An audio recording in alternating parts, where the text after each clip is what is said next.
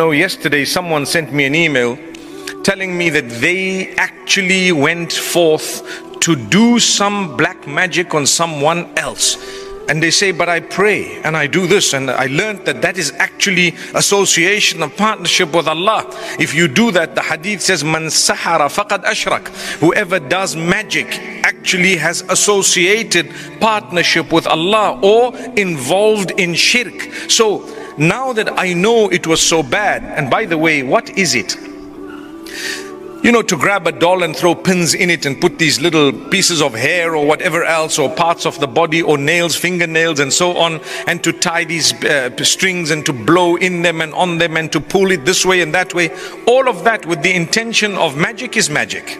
All of that is actually evil. And that's what's being spoken about. If you read the last two surahs of the Quran, the one where Allah Almighty speaks about in Surah Al-Falaq, He says, قل أعوذ برب الفلق من شر ما خلق ومن شر غاسق إذا وقب ومن شر النفاثات في العقد ومن شر حاسد إذا حسد I'm going to leave it to you to find the translation inshallah of the surah but the point I want to raise is how Allah mentions the protection in Allah from shaitan and from the blowing into the knots blowing into the knots.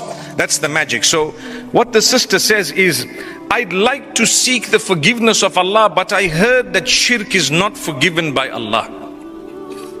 So, what you heard is correct, but it is only correct if you die without seeking the forgiveness of Allah. When you're alive, you seek forgiveness even from shirk, and Allah will forgive you.